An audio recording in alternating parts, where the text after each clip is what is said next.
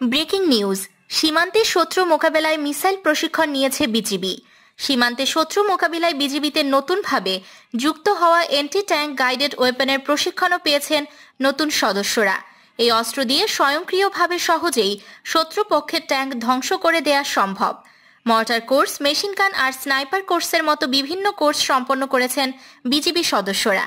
যে কোনো ঘটনায় বিজিবি সদস্যরা এখন হেলিকপ্টারে চড়ে অতি দ্রুত পৌঁছে যেতে পারবেন সীমান্তের অতি দুর্গম এলাকায়।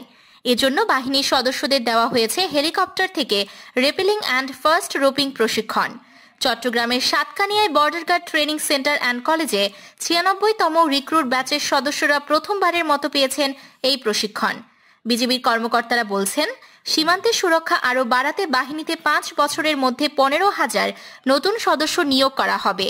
এছাড়া নতুন বর্ডার অবজারভেশন পোস্ট বিওপি ও সীমান্ত রাস্তা তৈরি করে সীমান্ত সুরক্ষা আরও সুদৃঢ় করার কাজ এগিয়ে চলছে।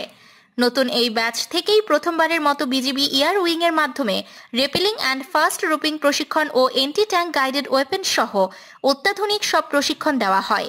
প্রশিক্ষণ সমাপনী অনুষ্ঠানে স্বরাষ্ট্রমন্ত্রী আসাদুজ্জামান খান কামাল বলেন বিজিবিকে একটি অত্যাধুনিক ও আন্তর্জাতিক মানসম্পন্ন সীমান্ত রক্ষী বাহিনী হিসেবে গড়ে তোলার জন্য সরকার নিরলসভাবে কাজ করে যাচ্ছে।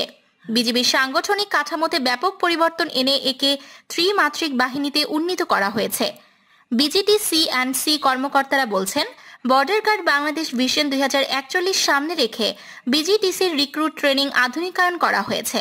নতুন রিক্রুটদের শারীরিক, রণকৌশল ও তাত্ত্বিক বিষয় সম্পর্কিত প্রশিক্ষণ পাঠক্রম আধুনিকায়ন করা হয়েছে।